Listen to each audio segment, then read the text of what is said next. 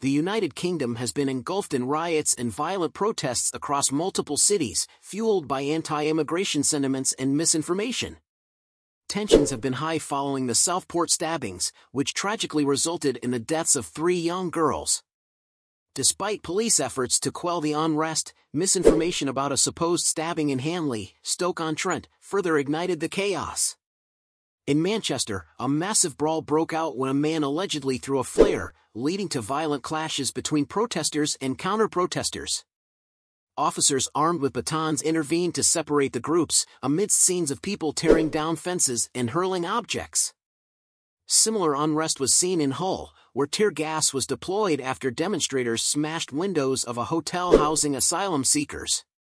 Protesters in Hull attacked an Asian man, torched cars, and vandalized property, resulting in multiple arrests and injuries to officers.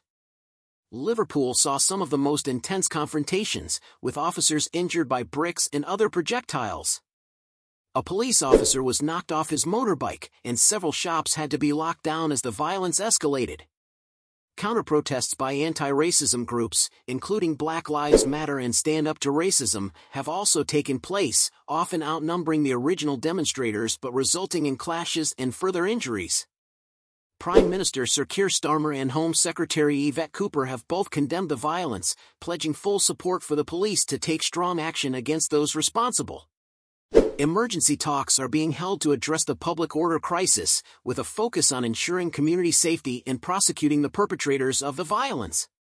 As the unrest continues, communities remain on edge, with widespread disruption and fear.